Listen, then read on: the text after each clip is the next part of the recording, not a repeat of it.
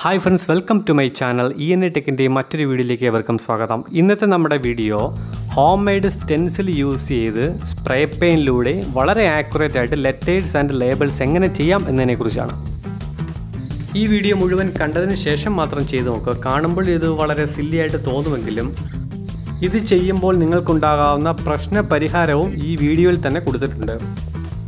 നിലവിലുള്ള മെത്തേഡ്സിൽ ഒന്ന് ഇതേപോലെ തന്നെ പേപ്പർ നമ്മൾ കട്ട് ചെയ്തതിന് ശേഷം സ്പോഞ്ച് അക്കലിക് പെയിന്റിലോ മറ്റേതെങ്കിലും ഒരു മീഡിയത്തിലോ പ്രസ് ചെയ്തതിലേക്ക് പ്രസ് ചെയ്ത് ഇമ്പ്രഷൻ എടുക്കുക എന്നുള്ളതാണ്. സെക്കൻഡ് മെത്തേഡ് സ്പ്രേ പെയിന്റ് ഇതേപോലെ തന്നെ ചെയ്യുക എന്നുള്ളത് പക്ഷേ അതിന്റെയൊക്കെ ഒരു ഏറ്റവും വലിയൊരു കുഴപ്പം എന്ന് പറഞ്ഞത് അതിന്റെ എഡ്ജ് ഷാർപ്പ് ആകത്തില്ല എന്നുള്ളതാണ്. നെയിമിങ്ങിലും ഈ പറഞ്ഞ പോലെ ലേബിൾസിൽ എഡ്ജ് ഷാർപ്പായില്ലെങ്കിൽ ഒരു അഭംഗിയായിരിക്കും പൊതുവേ ഫീൽ ചെയ്യുന്നത്. ഇങ്ങനെ നമ്മൾ പ്രിന്റ് ചെയ്ത് കട്ട് ചെയ്തെടുത്ത സ്റ്റെൻസിലിന് ഒരു ഔട്ടർ ഷെല്ല് കൊടുക്കുക എന്നുള്ളതാണ്. ഔട്ടർ ഷെല്ലിന്റെ ഉപയോഗം എന്ന് പറയുന്നത് സർഫസിലേക്ക് അനദർ സർഫസിലേക്ക് പെയിന്റ് സ്പ്രെഡ് ആകാതിരിക്കാനായിട്ട് പ്രൊട്ടക്റ്റ് ചെയ്യും എന്നുള്ളതാണ് ഈ ഔട്ടർ ഷെല്ലിന്റെ ഒരു ഉപയോഗം എന്ന് പറയുന്നത്. ഔട്ടർ ഷെല്ല് കറക്റ്റായിട്ട് വന്നതിന് വെച്ചതിന് ശേഷം നമ്മൾ ജസ്റ്റ് ഒന്ന് നോക്കുക എങ്ങനെയുണ്ട് അതിന്റെ സ്കെയിൽ റേഷ്യോ കറക്റ്റാണോ? അല്ല എന്നുണ്ടെങ്കിൽ കുറച്ചും കൂടെ കട്ട് ചെയ്ത് കൊടുക്കുക. സ്പ്രേ ചെയ്യുമ്പോൾ ഇങ്ക് ഫുൾ ആ സ്റ്റെൻസിലിൽ വീഴത്തക്ക രീതിയിലായിരിക്കണം ഔട്ടർ ഷെല്ല് നമ്മൾ കട്ട് ചെയ്യേണ്ടത്. വാട്ടർ അപ്ലൈ ചെയ്യണം ഇതിന്റെ സർഫസിൽ. അതായത് ഈ ഒരു ടൂൾ ബോക്സിലാണ് ഞാനിത് പ്രിന്റ് ചെയ്യാൻ പോകുന്നത്. ഈ ടൂൾ ബോക്സിന്റെ സർഫസിൽ പേപ്പർ പ്രസ്സായിട്ടിരിക്കുന്നിടത്ത് നമ്മൾ ഇതുപോലെ വാട്ടർ ജസ്റ്റ് ഒന്ന് ബ്രഷ് ചെയ്ത് കൊടുക്കണം. വാട്ടർ ബ്രഷ് ചെയ്യുന്നതിന്റെ ഒരു യൂസ് എന്ന് പറഞ്ഞാൽ തിൻ ലെയേഴ്സ് ആയിട്ടുള്ള ഏത് മെറ്റീരിയലിലും വാട്ടർ അപ്ലൈ ചെയ്താൽ കുറച്ചൊരു ബോണ്ട് അതിൽ വരും എന്നുള്ളത്. അത് വാട്ടറിന്റെ ഒരു സ്പെഷ്യൽ പ്രോപ്പർട്ടിയാണ് അതാണ് നമ്മളിവിടെ യൂസ് ചെയ്യുന്നത്. വാട്ടർ അപ്ലൈ ചെയ്യുമ്പോൾ സ്വാഭാവികമായിട്ടും ആ പേപ്പർ ചുളുങ്ങാൻ സാധ്യതയുണ്ട്. അന്നേരം നമ്മൾ ഇതേപോലെ തന്നെ ചുളുക്കമൊക്കെ മാറ്റി ആ ലെറ്ററേറ്റ്സ് കറക്റ്റായിട്ടുള്ള ഷേപ്പിൽ ആകത്തക്ക രീതിയിൽ വെക്കാനായിട്ട് ശ്രമിക്കണം. ഇപ്പോൾ ഇയും ബിയും ഉള്ള സ്പേസിൽ കറക്റ്റായിട്ട് വാട്ടർ അപ്ലൈ ആയില്ല. അതുകൊണ്ടൊരു ബോണ്ടിങ്ങിൽ ആ ഒരു ഒട്ടലിനൊരു വ്യത്യാസമുണ്ട്. അതുകൊണ്ടാണ് രണ്ടാമത് ഞാൻ അവിടെ ഒന്നും കൂടി വാട്ടർ അപ്ലൈ ചെയ്തത്. അതിനുശേഷം ഇതേപോലെ നമ്മൾ വേസ്റ്റ് ക്ലോത്ത് യൂസ് ചെയ്തോ സ്പോഞ്ചസ് യൂസ് ചെയ്തോ ഒക്കെ ഇതേപോലെ ഒന്ന് പിടിച്ചു നോക്കും. ഒരിക്കലും നിങ്ങൾ കൈ യൂസ് ചെയ്യില്ല? കാരണം നമ്മുടെ വിരലിലുള്ള ആ തമ്പ് ഇംപ്രഷൻ ഈ പേപ്പറിൽ പതിഞ്ഞ് പേപ്പറിൽ അത് കീറിപ്പോവാൻ സാധ്യതയുണ്ട്. അതിനുശേഷം ബിയുടെ രണ്ട് ഒരു പോയിന്റ് ഉണ്ട്. ഈ ബിയുടെ രണ്ട് പോയിന്റ്സ് നമ്മൾ ഇതേപോലെ ആഡ് ചെയ്ത് കൊടുക്കണം. ഇവിടെ ബി ആർ ബി അതായത് രണ്ട് ബി ഉണ്ട് ഒരു ആറും ഉണ്ട്. അതായത് ഇതിലുള്ള ആ ഒരു സ്പേസിങ് സെന്ററിലുള്ള ആ ഒരു ഹോളോ പോർഷൻ നമ്മൾ സെപ്പറേറ്റ് കട്ട് ചെയ്ത് ഇതിൽ ഫിക്സ് ചെയ്യേണ്ടതാണ്. അതും ഈ പറഞ്ഞതുപോലെ തന്നെ വാട്ടർ യൂസ് ചെയ്തിട്ടാണ് ചെയ്യേണ്ടത്. അല്ലെങ്കിൽ പറ്റി പിടിച്ചിരിക്കത്തില്ല അതിൽ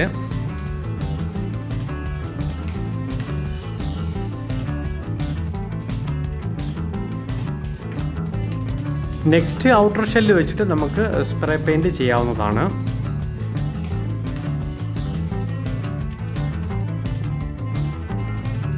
ഈ സെയിം മെത്തേഡിൽ നിങ്ങളുടെ വാഹനത്തിന്റെ നമ്പർ പ്ലേറ്റ് നിങ്ങൾക്ക് ചെയ്യാവുന്നതാണ്. സ്റ്റെൻസിൽ സെക്കൻഡ് യൂസ് ചെയ്യണം എന്നുണ്ടെങ്കിൽ ചുരുട്ടി കൂട്ടി ഇടുന്ന ഒരു പ്രവണത ഒഴിവാക്കിയെങ്കിൽ മാത്രമേ അത് സെക്കൻഡ് യൂസ് ചെയ്യാൻ പറ്റത്തുള്ളൂ. കറക്റ്റ് ഫ്ലാറ്റ് സർഫസിൽ നമ്മൾ എങ്ങനെയാണോ ഈ ഒരു ടൂൾ ബോക്സിൽ ഫിക്സ് ചെയ്യുന്ന അതേപോലെ തന്നെ ഫ്ലാറ്റ് സർഫസിൽ വെച്ചെങ്കിൽ മാത്രമേ അത് സെക്കൻഡ് യൂസിന് ഉപകാരപ്രദമാകൂ. നമുക്ക് next E N I tech എങ്ങനെ നമുക്ക് പ്രിന്റ് ചെയ്യാം എന്നത് നോക്കുക. ഈ ലെറ്റേഴ്സ് വളരെ ചെറുതാണ്. അതുകൊണ്ട് തന്നെ കട്ട് ചെയ്യാനായിട്ട് വളരെ ബുദ്ധിമുട്ടാണ്. ഒന്നെങ്കിലും നിങ്ങൾ കട്ട് ചെയ്യുക. അതല്ലെങ്കിൽ നെക്സ്റ്റ് ഒരു പോംവഴി എന്ന് പറയുന്നത് വിനൽ കട്ടിംഗ് മെഷീൻസിൽ കൊടുത്ത് നമ്മൾ കട്ട് ചെയ്യിപ്പിക്കുക എന്നുള്ളതാണ്. ഇത്തിരി കോസ്റ്റ്ലി ആണ്. പക്ഷേ നമ്മുടെ ലക്ഷ്യം എന്ന് പറഞ്ഞാൽ കോസ്റ്റ് എഫക്റ്റീവായിട്ട് ലേബൽസ് ആൻഡ് ലെറ്റേഴ്സ് ചെയ്യുക എന്നുള്ളതാണ്. ഇതുപോലെ കട്ട് ചെയ്തതിന് ശേഷം തൊട്ട് മുൻപ് കാണിച്ചതുപോലെ തന്നെ നമ്മളൊരു ഔട്ടർ ഷെല്ല് കൊടുത്തതിന് ശേഷം സ്പ്രേ അപ്ലൈ ചെയ്യുകയാണ് ചെയ്യുന്നത്. വാട്ടർ അപ്ലൈ ചെയ്തതിന് ശേഷം നമ്മൾ ഫിക്സ് ചെയ്തിട്ട് സ്പ്രേ അപ്ലൈ ആണ് ചെയ്യുന്നത്. ഇത്രയും സ്കെയിൽ റേഷ്യോ തീരെ കുറഞ്ഞ ഐറ്റംസ് നമ്മൾ കട്ട് ചെയ്യുമ്പോൾ തീർച്ചയായിട്ടും മൂർച്ചയുള്ള നൈഫ് യൂസ് ചെയ്യുക അല്ല എന്നുണ്ടെങ്കിൽ കട്ട് ചെയ്യാൻ വളരെ ബുദ്ധിമുട്ടായിട്ടുള്ള കാര്യമാണ്. ഇനി നമ്മൾ നേരത്തെ കാണിച്ചതുപോലെ തന്നെ ഔട്ടർ ഷെല്ല് ക്രിയേറ്റ് ചെയ്യുക. അതിന് മുൻപായിട്ട് സ്പ്രേ ചെയ്യുന്നതിന് മുൻപായിട്ട് ഇതേപോലെ വാട്ടർ അപ്ലൈ ചെയ്ത് തൊട്ട് മുമ്പിലത്തെ നമ്മൾ ലെറ്റേഴ്സ് കൊടുത്ത പോലെ തന്നെ ചെയ്യുക.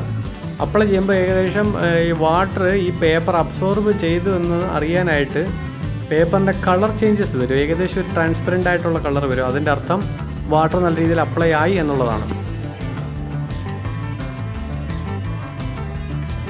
നിങ്ങൾ റിയൽ ആയിട്ടുള്ള ഒബ്ജക്ട്സിൽ പെയിന്റ് അപ്ലൈ ചെയ്യുന്നതിന് മുൻപ് ഒരു രണ്ട് പ്രാവശ്യമെങ്കിലും ട്രയൽ ചെയ്ത് നോക്കണം. കാരണം ഇതിന് മുൻപരിചയം ഇല്ല എന്നുണ്ടെങ്കിൽ ഈ ഇപ്പം ലെറ്റേഴ്സിന്റെ അവിടെ ഉള്ള ഒരു ഹോളോ പോർഷനൊക്കെ ഉണ്ടല്ലോ അതൊക്കെ വെക്കാൻ നമ്മൾ മറന്നു പോകും.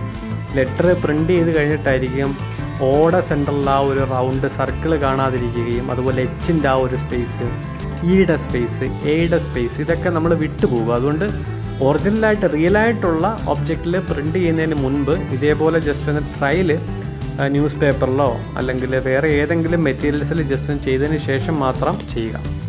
യൂട്യൂബിൽ അപ്ലോഡ് ചെയ്യാനുള്ള വീഡിയോ ക്രിയേറ്റ് ചെയ്യാനായിട്ടാണ് ഇത്രയും ഡിസ്റ്റൻസ് അടുപ്പിച്ച് ഞാൻ സ്പ്രേ ചെയ്യുന്നത്. ഒരിക്കലും ഈ സ്പ്രേ പെയിന്റ് ചെയ്യുമ്പോൾ ഇത്രയും ഡിസ്റ്റൻസ് അടുപ്പിച്ച് ഒരിക്കലും നിങ്ങൾ സ്പ്രേ ചെയ്യല്ലേ? ഏകദേശം ഒരു half meters distance or fifty centimetre ഡിസ്റ്റൻസിൽ വേണം നിങ്ങൾ സ്പ്രേ ചെയ്യാൻ അല്ല എന്നുണ്ടെങ്കിൽ ഈ സ്പ്രേ ചെയ്യുന്ന സ്പ്രേ പെയിന്റിന്റെ ക്വാണ്ടിറ്റി കൂടുകയും ഷാർപ്പ് എഡ്ജ് കിട്ടാത്ത ഒരവസ്ഥയിലേക്ക് എത്തിച്ചേരും.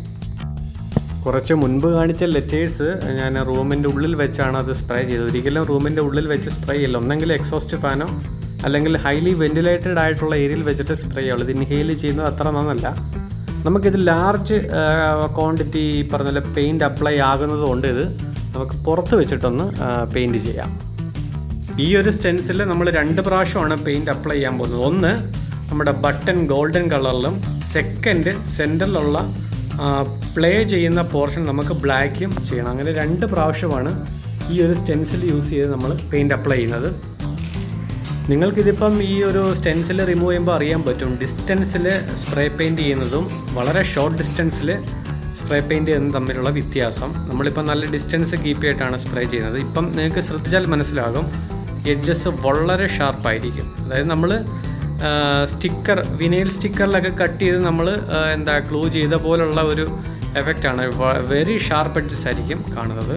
ഇവിടെ ഇപ്പോൾ എനിക്ക് ചെറിയൊരു അബദ്ധം പറ്റി. ഞാനിതിപ്പം പ്ലേയുടെ ആ ഒരു ബട്ടൺ ഇളക്കാൻ നേരം എന്റെ വിരൽ കൊണ്ട് ആ ഒരു ഗോൾഡൻ ഷെയ്ഡ് ഇച്ചിരി വ്യത്യാസം സംഭവിച്ചിട്ടുണ്ട്. ചില സ്ക്രാച്ച് വീണിട്ടുണ്ട്. അത് നമുക്ക് വേണമെങ്കിൽ ഇനിയും ഈ പറഞ്ഞ പോലെ സ്റ്റെൻസിൽ യൂസ് ചെയ്ത്. നെക്സ്റ്റ് നമ്മൾ സെന്റർ പോർഷൻ ചെയ്യാനായിട്ട് ഫസ്റ്റിൽ നേരത്തെ പറഞ്ഞ പോലെ വെള്ളം കൊണ്ട് ഇത് ജസ്റ്റ് ഒന്ന് നനയ്ക്കുക പേപ്പർ അതിനുശേഷം പ്ലേ എവിടെയാണോ നമുക്ക് ബ്ലാക്ക് കളർ വേണ്ടത് അവിടെ ഇത് പ്ലേസ് ചെയ്യുക. അതിനുശേഷം ഔട്ടർ ഷെല്ല് വെക്കുക ദെൻ സ്പ്രേ ചെയ്യുക. ഇത് തൊട്ടടുത്ത് വെച്ചിട്ടാണ് ഞാൻ സ്പ്രേ ചെയ്തത്. അതുകൊണ്ട് തന്നെ അത്ര ക്ലിയർ ആയിട്ട് കിട്ടാൻ സാധ്യതയില്ല. ഇത് വീഡിയോ എടുക്കുന്നതിന്റെ ഒരു സൗകര്യപ്രകാരമാണ് നമ്മൾ തൊട്ടടുത്തൊക്കെ വെച്ച് ഇങ്ങനെ ഷൂട്ട് ചെയ്യുന്നതിന്റെ കാരണത്താലാണ് ഇങ്ങനെ ഡിസ്റ്റൻസ് കുറച്ച് നമ്മൾ സ്പ്രേ ചെയ്യുന്നത്. ഇപ്പം നിങ്ങൾക്ക് കണ്ടാൽ മനസ്സിലാകും. സ്പ്രേ ചെയ്യുന്നതിന്റെ ഡിസ്റ്റൻസ് വളരെ കുറവായതുകൊണ്ട് എഡ്ജസ് എന്താണ് കറക്റ്റായിട്ട് ഷാർപ്പായില്ല. ഇപ്പം പേപ്പറിന്റെ കുറച്ച് പോർഷന് ഈ ഗോൾഡൻ ആ ഒരു സർഫസിൽ സ്റ്റിക്ക് ചെയ്തിട്ടുണ്ട്. നമുക്ക് ജസ്റ്റ് റിമൂവ് ചെയ്യാവുന്നതേ ഉള്ളൂ. നെക്സ്റ്റ് നമുക്ക് ഇ എൻ ഐ എന്നുള്ളത് ഈ ഒരു ടൂൾ ബോക്സിന്റെ സൈഡിലായിട്ടൊന്ന് സ്പ്രേ ചെയ്ത് നോക്കാം. ഇത് കുറച്ച് മുൻപേ നമ്മൾ സ്പ്രേ ചെയ്തതാണ് യൂസ് ചെയ്ത സ്റ്റെൻസിലാണ് ഇത് തന്നെ നമുക്ക് വേണമെങ്കിൽ റീയൂസ് ചെയ്യാം. എന്നതിനൊരു എക്സാമ്പിളാണ് ഈ കാണിക്കുന്നത്. സെക്കൻഡ് യൂസ് ചെയ്യാൻ നേരം ഇതുപോലൊക്കെ ചുളുങ്ങിയിരിക്കുന്ന കണ്ടുകൊണ്ട് നമ്മൾ വിചാരിക്കാൻ സാധ്യതയുണ്ട്. ഇതൊന്നും നടപ്പുള്ള കാര്യമല്ല സെക്കൻഡ് യൂസ് ചെയ്യുന്നത്. പക്ഷേ നമ്മൾ വാട്ടർ ഒന്ന് അപ്ലൈ ചെയ്തിട്ട് ഈ ഇതുപോലെ ജസ്റ്റ് ഒന്ന് പ്രസ് ചെയ്ത് കഴിഞ്ഞാൽ നേരത്തെ ചെയ്ത പോലെ തന്നെ നമുക്ക് ഫ്ലാറ്റായിട്ട് കിട്ടുന്നതാണ്. ഈ വീഡിയോസിനെ കുറിച്ച് ഏതെങ്കിലും രീതിയിലുള്ള ഡൗട്ട് ആണെങ്കിൽ തീർച്ചയായിട്ടും നിങ്ങൾ കമന്റ് ചെയ്യാം. ഈ വീഡിയോ ഇഷ്ടപ്പെട്ടെങ്കിൽ നിങ്ങൾ ലൈക്ക് ചെയ്യുക ഷെയർ ചെയ്യുക. ഇതുവരെ എന്റെ ചാനൽ സബ്സ്ക്രൈബ് ചെയ്തില്ലെങ്കിൽ സബ്സ്ക്രൈബ് ചെയ്യുക. ആ ബെല്ലൈക്കൺ കൂടി നിലവിൽ ചെയ്യുക. നെക്സ്റ്റ് നമ്മുടെ വീഡിയോ ഫയർ ലെറ്റേഴ്സിനെ കുറിച്ചാണ്. ഇതുപോലെ കട്ട് ചെയ്യാനുള്ളൊരു ബുദ്ധിമുട്ട് തീർച്ചയായിട്ടും നിങ്ങൾക്ക് ഒഴിവാകും അതിന്റെ വീഡിയോ നെക്സ്റ്റ് ആയിട്ട് നമ്മൾ അപ്ലോഡ് ചെയ്യുന്നതാണ്.